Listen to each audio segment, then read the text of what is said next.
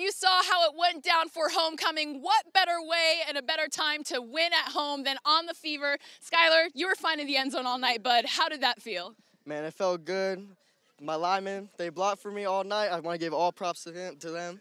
All it was all them that led me to the end zone all night. That's a shout out to the O line for all you fever watchers out there. Yeah.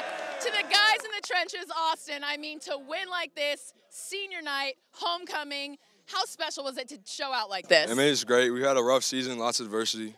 It's fun, fun to get the win, man. Yeah. We, we had a rough year. What is going through your mind when you see just green grass ahead of you?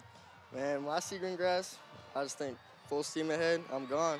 No one's catching me. All I see is that end zone. I'm gone. We love it. A nose for the end zone. You guys have one more game of this season. What is the message to this team, and how are you going to get it done to finish out strong? I just think we need to fit, fight to the end, deal with all adversity. That's the biggest thing this year was all adversity. Fight to the end. That's the main message.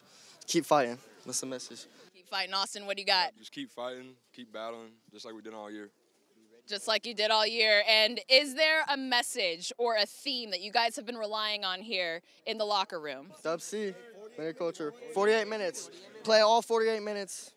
Like, don't stop, don't quit. Even even what the scoreboard says, we gotta play all 48 minutes. That's the, that's our big deal in the locker room. Don't stop, don't quit.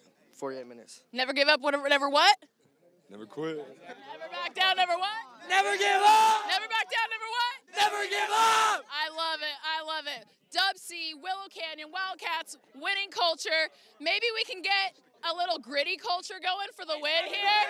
What you got, Skylar? Oh, wait. Oh. Oh.